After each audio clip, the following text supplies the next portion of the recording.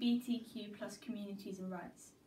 Recently, we've had a writer called Lisa Williamson who works with children from age 11 to 18 who are unsure about their situations, and she wrote a book based on them. We think very strongly on this topic because of how different communities look at this point of view. Is it okay to call yourself and proclaim to the people the ages of 13 to 14 that you are part of the LGBTQ community? Um, I think I think it's a massively personal thing. So I think I think you could be five, you could be ten, you could be thirty. I, I think you know I think people find that for themselves at all different ages. So no, I, I, I think I think it's up to the Yes, individual. because it's your own opinion and it's your body and no one has control over what you I think. think at any age, whenever you think is ready and you're confident with expressing how you are and how you feel with others. What age would you think is most suitable to come out as and why would you choose that I don't think age? there is any age that would be most suitable. I think when a person decides that they are they've identified in that way, that is their decision to make at I any think age. it's the most suitable age to come out to people.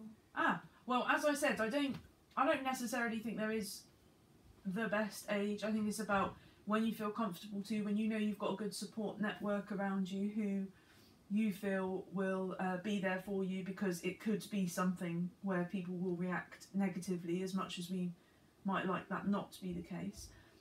And I think it's about when you feel sure and you feel sort of centered in your self identity, really. Is it right justified as a right thing to love the same sex? What's your opinion on it? That's okay because like you can love. It's normal because you can love whoever you want. Or justified as a like a normal thing to love the same sex? Like, what's your opinion on that? Uh, I wouldn't say that I like the term normal. I think that's quite difficult for, for everyone. We all have our own normal, I suppose, um, uh, and it's perfectly acceptable. Uh, some people find love early, some people find love late, some people in same sex, some people in the opposite sex. Um, so one's own journey to love, I suppose, is, is again so varied that I don't think there's such a thing as normal.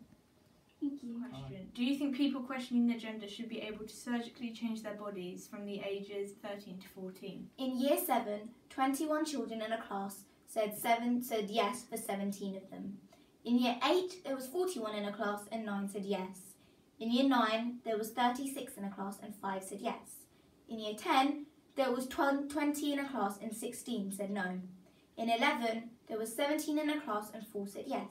In 12, there was five in a class and two said yes. Until next time, goodbye.